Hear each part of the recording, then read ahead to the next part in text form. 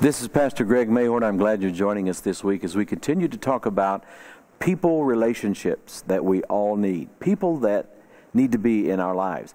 And of course, last week we started this, and I never told you about one person who needed to be in your life. I actually started talking about the type of person you don't need in your life. And I think sometimes that's very important to understand because it helps us to sort through the choices that we all have over the course of our lives as to who we will draw close to, who we will allow to speak into our lives, and who we allow to minister to us. I was talking about Abraham and Lot last week and how that Lot was not supposed to be on this spiritual pilgrimage that Abraham was on. God never promised Lot that he would make of him a great nation. He promised Abraham that. But Abraham and his evidently his sympathy for Lot, who had lost his father, Abraham's brother, to death, he, just brought him along for whatever reason, but it became a problem. And uh, Lot represents carnal and worldly people who, though they may have met the Lord, because Lot is called in 2 Peter a righteous man, but we can see from his lifestyle choices that Lot was not a spiritual man.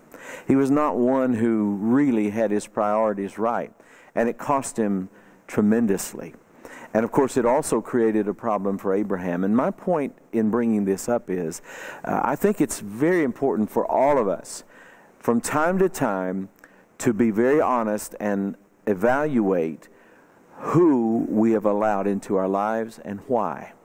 What they contribute, what they take.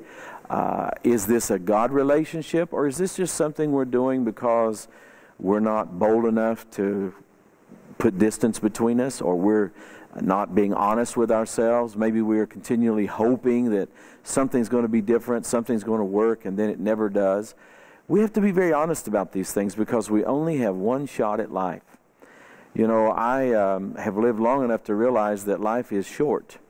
And uh, after you live to a certain point in life, it's usually going to be the case that you have less time in the future than you have in the past here on the earth. And that makes it all the more important to make every day count. And to make our time here profitable, we must allow the Lord to bring the right people into our lives, and we must be diligent to make the right decisions with our choices in relationships.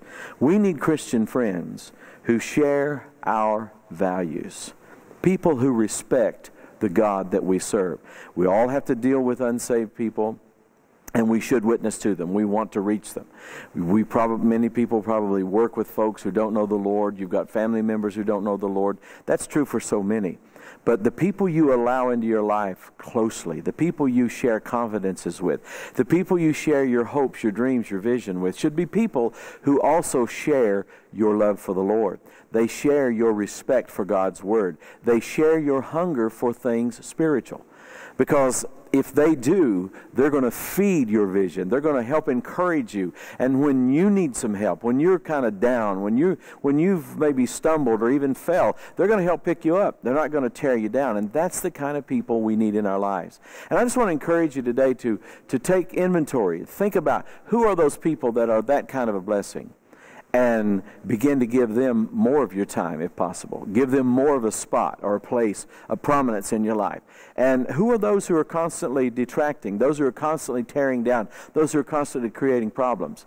Well, maybe they need to be a little further out. Not that we don't love them, not that we wouldn't pray for them, not that we wouldn't help them when it's appropriate. But we need to be careful who we let on the inside. And the first person that needs to be first and foremost inside is the Lord Jesus Christ. I hope you'll join us next week as we begin to talk about a list of people we all need in our lives.